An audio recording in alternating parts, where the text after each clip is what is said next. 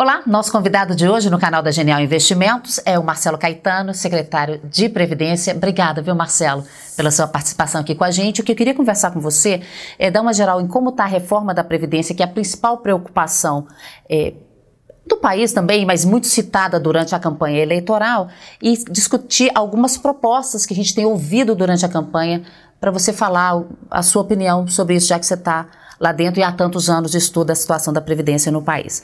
Primeira coisa, é, em tese, sua, ah, sua, permanência vai até só o fim do ano. Na mudança de governo, vai mudar o governo, podem mudar alguns deputados também, muitos vão ficar, a gente sabe, e muda a Secretaria de Previdência.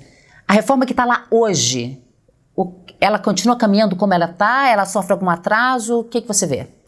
A reforma está no Congresso Nacional. Então, quem dita o ritmo de velocidade da reforma é o próprio Congresso Nacional, não é mais o Executivo. O que acontece? Hoje existe uma intervenção do governo federal no estado do Rio de Janeiro, por questões de segurança pública. Como há essa intervenção, a reforma constitucional, essa proposta de emenda constitucional, não pode ser votada. Mas, em havendo a suspensão dessa intervenção da, do, do da governo federal no estado do Rio de Janeiro, a reforma da Previdência, tal como está colocada na proposta de emenda constitucional atual, pode ser retomada normalmente, independentemente de quem esteja no executivo. Então, se, se entrar um presidente que é contra a reforma do jeito que ela está lá e o Congresso decidir que vai aprovar do jeito que está, vai, vai aprovar e depois vai para sanção do presidente. A, a, como é uma emenda constitucional, nem para sanção presidencial vai. vai. O próprio Congresso já chega e já promulga a emenda. Sim, se houver da perspectiva do Congresso isso, sim. Geralmente não é tão comum, porque geralmente tem uma conversa melhor, um diálogo melhor entre o presidente e o Congresso Nacional para aprovação. Mas sim, está nas mãos do Congresso Nacional. Marcelo, os assessores dos candidatos têm te procurado? Os assessores da área econômica têm te procurado para tirar alguma dúvida, para fazer o plano com relação à Previdência?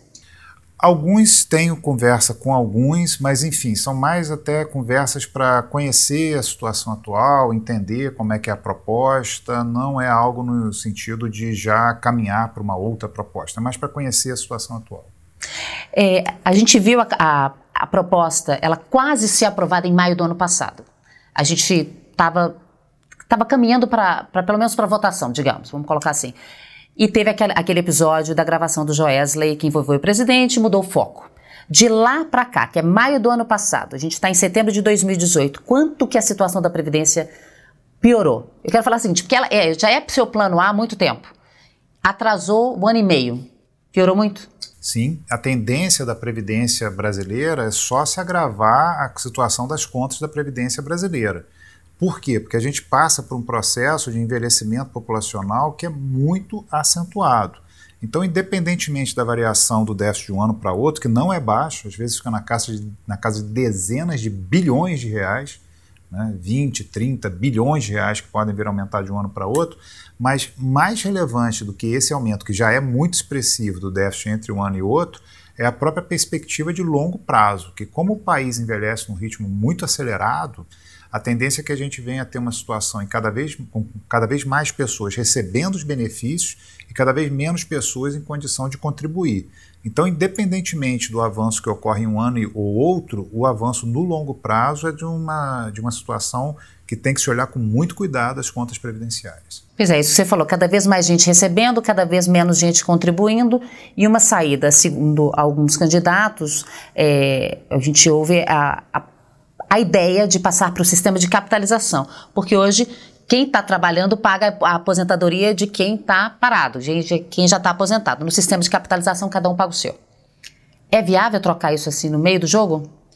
A transição de um regime de repartição para um regime de capitalização na situação brasileira ela tem que ser analisada com muito cuidado. Por quê? Porque a gente já tem um déficit da Previdência na casa de centenas de bilhões de reais. É mais de 200 bilhões de reais o déficit da Previdência, consumando serviço público e INSS num ano só. Então, veja, se eu faço a transição de um regime de repartição para capitalização, isso tende a agravar mais, ainda mais, a, a sustentabilidade das contas, porque o dinheiro que está indo para pagar as aposentadorias deixa de pagar essas aposentadorias e passa a ser poupado por cada um.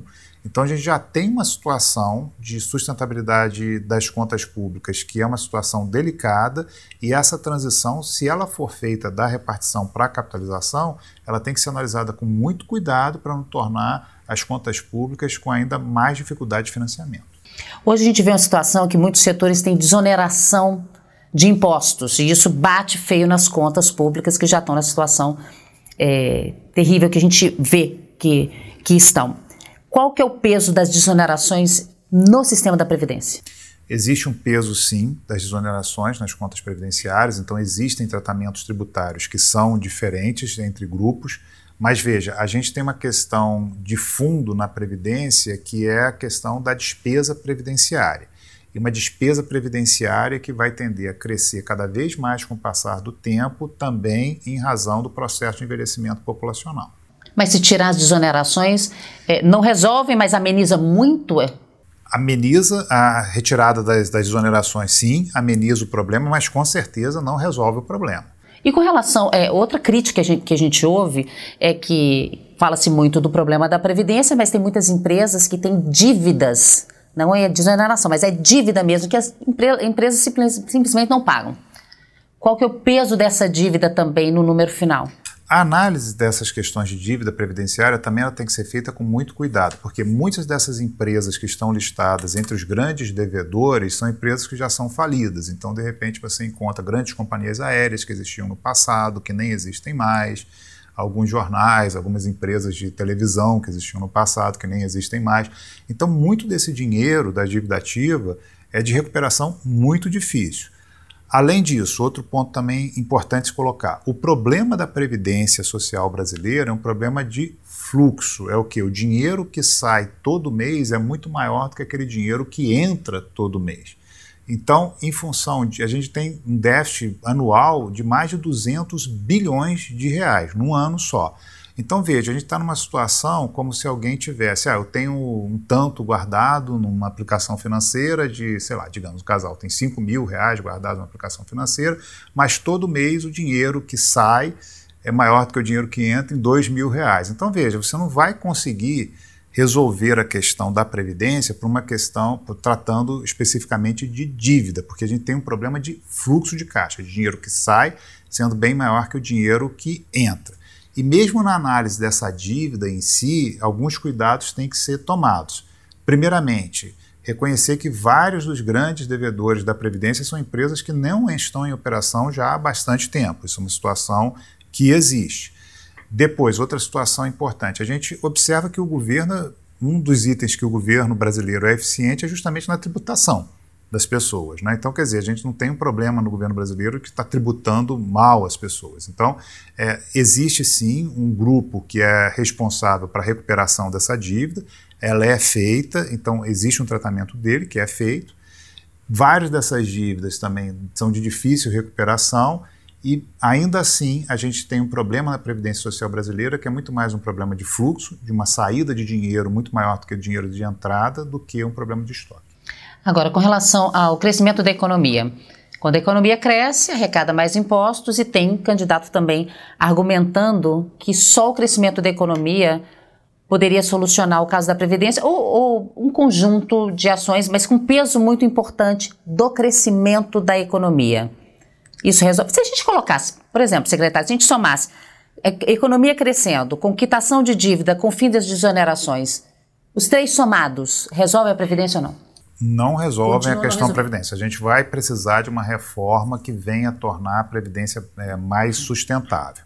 E veja, a discussão da reforma da Previdência, quem defende a reforma da Previdência é justamente com a perspectiva de continuar a manutenção do pagamento das aposentadorias e pensões no futuro.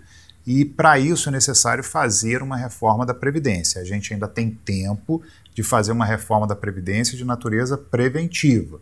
Se a gente ficar adiando o, a, o, enfrentamento do problema, a gente pode se deparar em situações como ocorreram, por exemplo, com Portugal, com Grécia, em que tiveram que simplesmente reduzir o valor dos benefícios pagos. Última pergunta, secretário. A gente sabe que o projeto inicial da reforma, que é do fim de 2016, Sim. não é? Esse projeto era um. O projeto que depois foi aprovado na. Ele foi tão desidratado no caminho que o que está lá hoje é outro. E esse enfraquecimento do projeto aí no meio do caminho vai levar à necessidade de fazer uma outra reforma daqui a alguns anos? Vamos supor que ele vai, seja aprovado. Vamos supor que entra um novo presidente cheio de gás, consegue aprovar logo no começo do ano que vem, primeiro semestre do ano que vem. Quando é que a gente precisaria de outra reforma? É, na, nos meus cálculos, algo como daqui a 10, 15 anos seria necessário, de repente, uma retomada da discussão da, da reforma da Previdência. Se, fosse... se for aprovado, não o projeto original, mas o projeto no último estágio de negociação. E se fosse original? O original levaria mais uns 30 anos, tá, seguraria por um tempo maior. Ok. okay. Secretário Marcelo Caetano, obrigada. Nada, eu que agradeço. E a você, muito obrigada. Se inscreva aqui no nosso canal, curta, compartilhe e até uma próxima. Thank you.